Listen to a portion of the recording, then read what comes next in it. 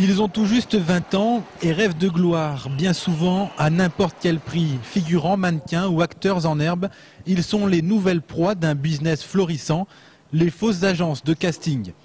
Des sociétés sans scrupules qui surfent sur le phénomène Plus belle la vie et sur les nombreux tournages à Marseille. Cécile, 21 ans, est vendeuse.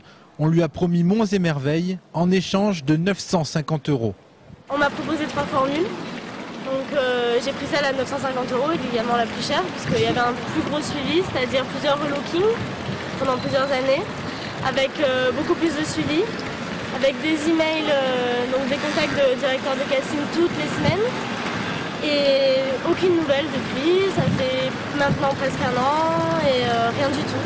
Et bien sûr, quand on essaie d'appeler le numéro de téléphone, le numéro n'est pas attribué.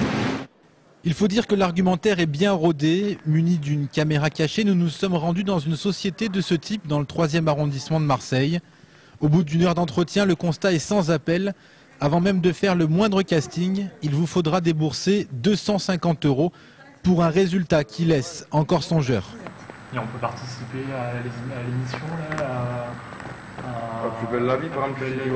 Ah, éventuellement, mais bon après. Si c'est 60 euros la journée, moi ça m'intéresse, moi c'est ça qui m'intéresse. C'est 65 euros euh, net. Ah, donc on peut. Si vous pouvez mettre en relation avec belle vie ou quelque chose d'autre. Hein, D'accord, moi je peux vous mettre en relation, mais il ne faudra pas dire que vous venez de ma part.